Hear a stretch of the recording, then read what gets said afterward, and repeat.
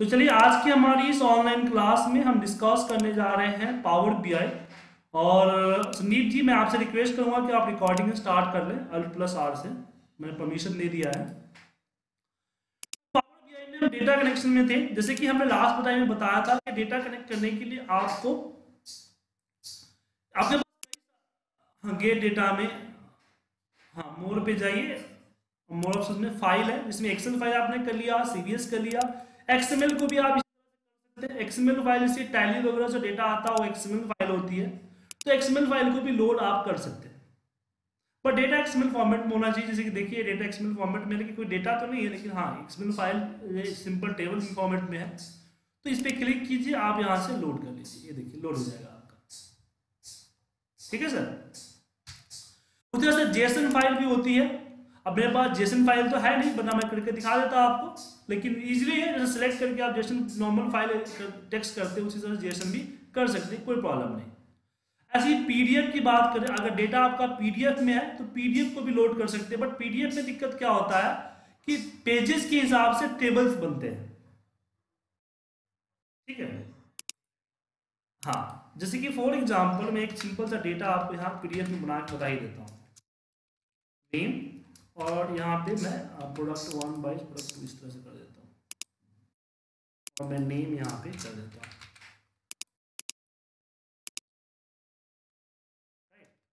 और यहाँ पे हम कुछ नंबर्स दे देते हैं।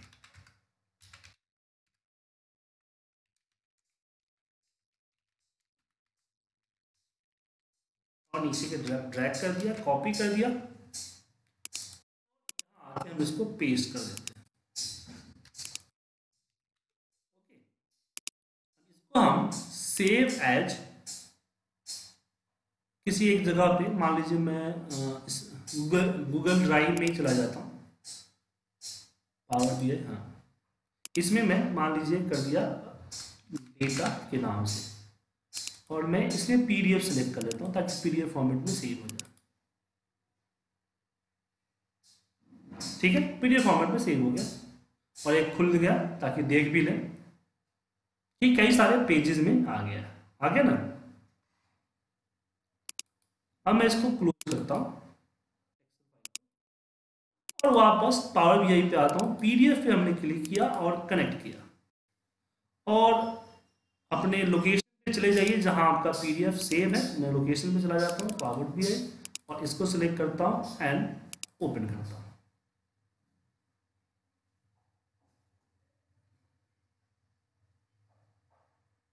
ये आप देखिए, आपके कई सारे पीडीएफ फॉर्मेट में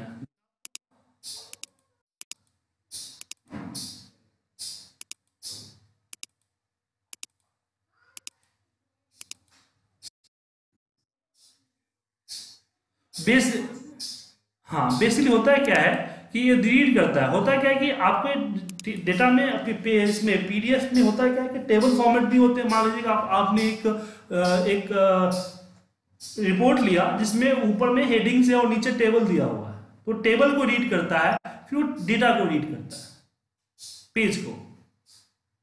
मतलब कि जो टेबल हाँ तो पेज में जो टेबल था उसको रीड कर लिया उसने। जो पेज में टेबल था रीड कर लिया। और फिर पेज को भी हाँ तो टेबल में क्या हुआ कि ये जो टे, ये जो टेबल होगा वो डेटा टेबल जो बना होगा वो होगा।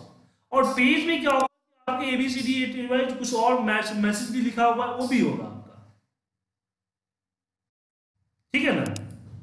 अब मैं एक से ज़्यादा को सिलेक्ट करूँगा। अब यहाँ पे क्या है कि इसको कंबाइन करने का ऑप्शन इसमें नहीं है। आप इसको जब लोड करोगे तो ये आपको अलग अलग टेबल में लोड होगा। यहाँ पे कंबाइन करने का कोई ऑप्शन नहीं है। लेकिन जब इसको ट्रांसफॉर्म करते हैं तो गूगल सीट आपको खुल के आ जाता है। सॉरी माफ़ कीजिएगा। पावर क्यूरी खुल पावर क्यूरी एडिटर खुल के चलाता है। ठीक है ना? ये पावर क्यूरी एडिटर आपका खुल के चलाता है। तो इसमें इसलिए खुल के आता है कि आप इसको लोड करने से पहले कोई कोई कैलकुलेशन वगैरह करना चाहे तो इसमें आप कैलकुलेशन वगैरह कर सकते हैं। ठीक है?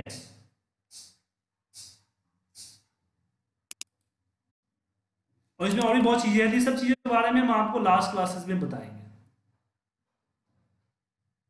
ठीक है? हेलो इन सब चीज़ों के बारे में हम आपको आगे इस पर जैसे आर स्क्रिप्ट वगैरह चलाना है पाइथन स्क्रिप्ट वगैरह चलाना है तो इस पर भी चलाने के लिए आप इसका यूज़ हम करते हैं इसके बारे में आगे हम बताएँगे, ठीक है? अब यहाँ पे लोड एंड क्लोज पे चले आते हैं।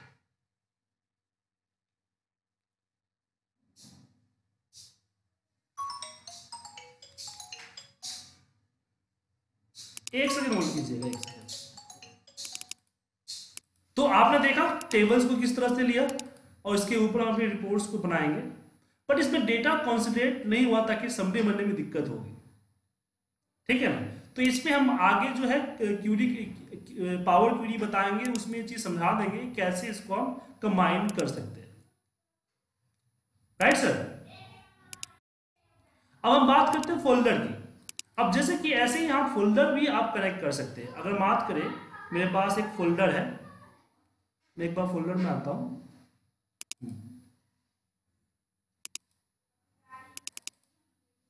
ये मैं एक इसको कॉपी इसको कट फोल्डर में बाकी डेटा नहीं होना चाहिए। तो हमारे एमएफ के अंदर डेटा जो फोल्डर है, इस डेटा में मेरे पास पाँच जो है फ़ाइल है। तो अब मैं पावर बीआई पे आता हूँ। अब पावर बीआई में मैं यहाँ गेट डेटा पे जाता हूँ। गेट डेटा में अगर मैं मोड पे आता हूँ और यहाँ फुल फ़ाइल में हम फोल्डर को सिलेक्ट कर लेते हैं। और पास में हम जाते हैं।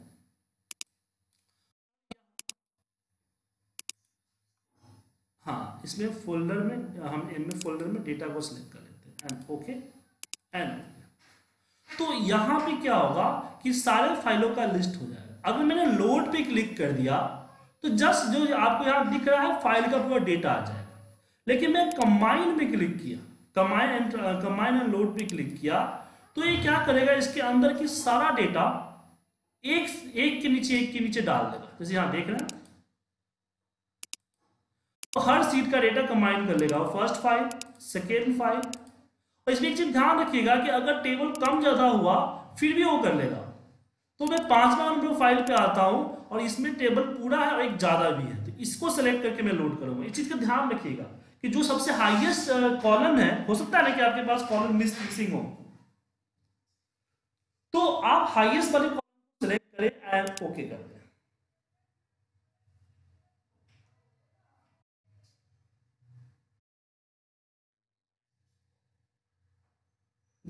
आपका डेटा आ गया। हाँ क्या बोले सर? ओके, जैसे कि मान लीजिए ना कि आपके पास एक फोल्डर है हमारे पास। इस फोल्डर में मेरे पास कई सारे फ़ाइल फ़ाइल है। मतलब ये समझिए ना कि मान कि आपके पास जो है ना आपकी कंपनी जो है, वो पाँच सिटी में काम करती है, अब पाँचों सिटी का सेल्स का रेट आया हुआ अब आपको इस पे एनालिसिस करने के लिए सारे सिटी का डेटा कॉपी करके, एक के नीचे, एक के नीचे पेस्ट करके एक कॉन्सलेटेड डेटा बनाना होता है। समझे? तो ये चीज़ आप पावर बीआई के अंदर ही कर सकते हैं। कैसे कर सकते हैं? गेट में आइए, मोड पे जाइए। संदीप जी, मेरी आवाज़ आ रही है आपको?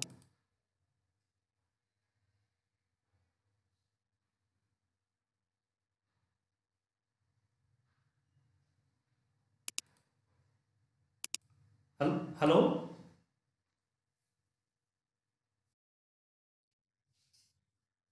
वो आपकी इंटरनेट की स्पीड कम हो गया इस कारण से।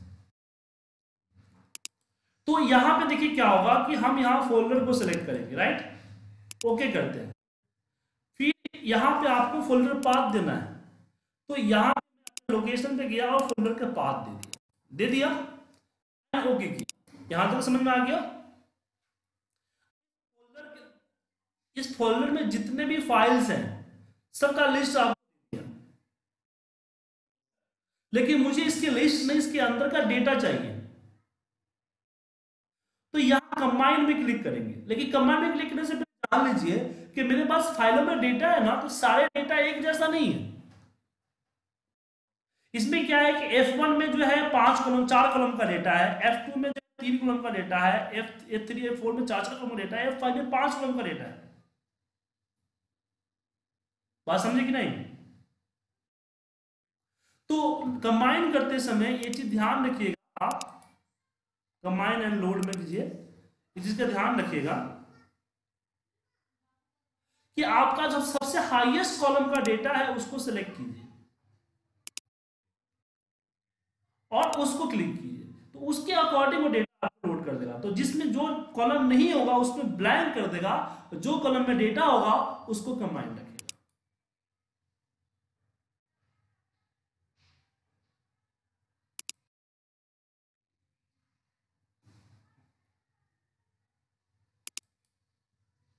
ठीक है? क्या आ गया?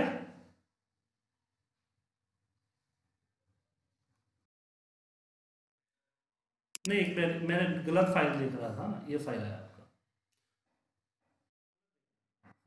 एफ़ वन, अब इसमें देखिए कि मई का डेटा नहीं था तो ब्लैंक मई का डेटा सिर्फ़ पाँचवें फ़ाइल फिर फरवरी का डेटा फ़ाइल नंबर टू में नहीं था तो यहाँ ब्लैंक दिखा रहा है। ठीक है? तो इस तरह से फोल्डर के डेटा करते हैं। तो फ़ाइल वाले सिस्टम में आपको समझ में आ गया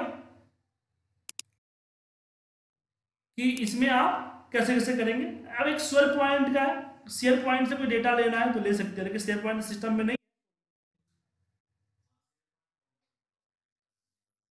हाँ। हाँ। जी हाँ। अब आते हैं डेटाबेस तो डेटाबेस में डिफरेंट डिफरेंट डेटाबेस आप कौन सा डेटाबेस यूज़ करते हैं सर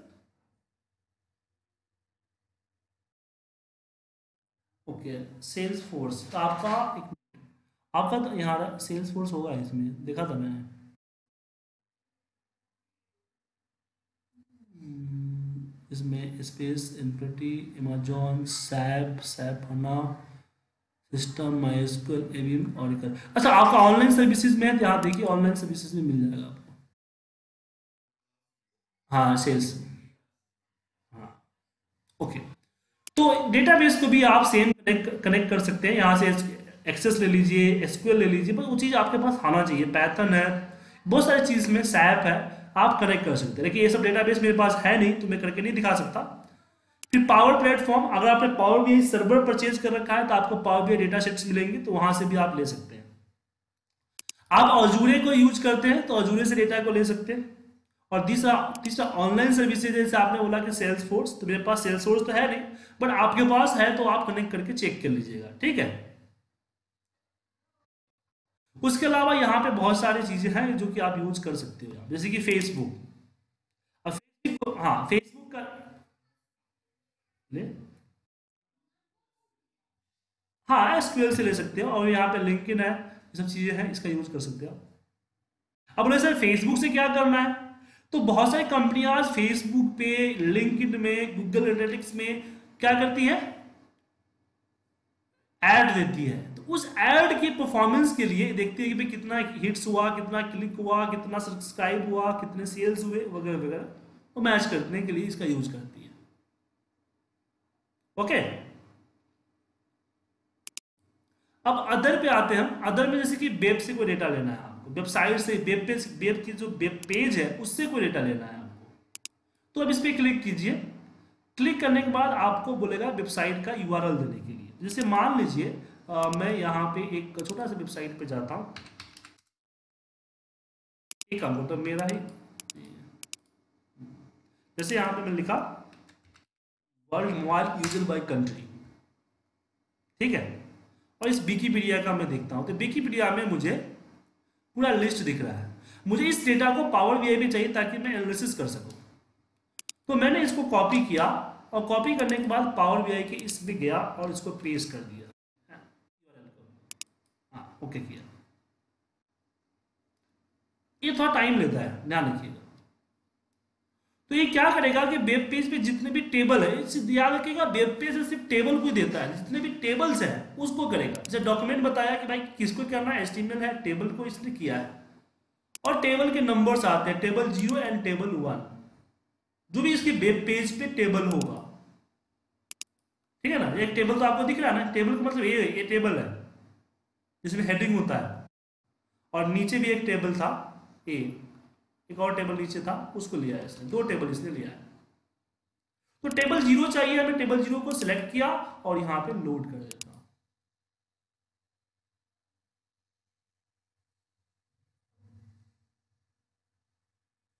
ये आपका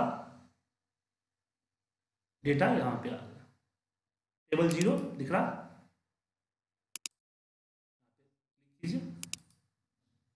तो किसी वेबसाइट का डेटा इस तरह से आप ला सकते हैं। रैंकिंग कंट्री बाई रीजन वगैरह वगैरह आप कर सकते हैं। ठीक है?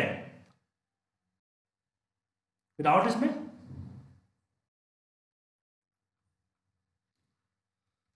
तो आप डेटा कनेक्ट कर सकते हैं वेब से। तो वेब से भी कनेक्ट करना आपको आ गया।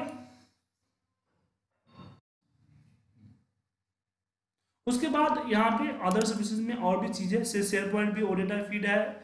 टाइप वगैरह है माइक्रोसॉफ्ट एक्सचेंज से डेटा ले सकते हैं। कोई आर स्क्रिप्ट लिखा हुआ है, या पैथन की स्क्रिप्ट आपने लिखी है, वो भी आप ले सकते हैं। कोई ओ या ओ एल डेटा बेसिस है, उसको आप ले सकते हैं। अगर आप कोई ब्लैंक क्यूरी लिखना चाहते हैं तो ब्लैंक क्यूरी को भी कनेक्ट कीजिएगा। अब यहाँ पे आपके पास क्यूरी कनेक्शन खुल जाता है। ठीक है? अब यहाँ पे अपने हिसाब से जो क्यूरी लिखना है, लिख सकते हैं। इसके बारे में हम आगे क्लासेस में आपके साथ डिस्कस करेंगे। ठीक है? चलिए। जैसे आप फ़ंक्शन लगाना है, जैसे टेबल का फॉर्मूला या फ़िल्टर का फॉर्मूला लगाना है तो यहाँ पे आप लगा सकते हैं। जैसे फ़िल्टर का फॉर्मूला लगाना है। फॉर्मूला वगैरह लगा के आप ले सकते हैं फोल्डर से ले सकते हैं। बहुत सारी चीज़ में आपको दिख रहा होगा, यहाँ से उठा सकते हैं आप। ठीक है? तो अपने हिसाब से कोई क्यूरी लिख सकते हैं। तो ये चीज़ें हम आपको सिखाएँगे, उस समय सिखाएँगे। तो डेटा कनेक्टिविटी समझ में आ गया आपको? ओके अब हम कल की क्लास में आपको बताएँगे इस डेटा कनेक्ट कनेक्ट करके रिपोर्ट डेटा कनेक्ट करने के बाद हम अपने विजुलाइजेशन कैसे इस्तेमाल करते हैं, उसका एक दम भी देंगे। फिर फिर हम कुछ दिनों के लिए मूव हो जाएँगे डेटा कैलकुलेशन पे। और इसमें हम करीब डेढ़ दो सौ फॉर्मूले सीखेंगे फिर वापस हम आएँगे अपने इस पे विजुलाइजेशन पे और बनाना सिखाएँगे आपको। ठीक है सर? तो इसकी प्रैक्टिस करते रहिए और कोई डाउट होगा तो कॉल कर लीजिएगा। ओके बाय मिलते हैं कल। Okay thank you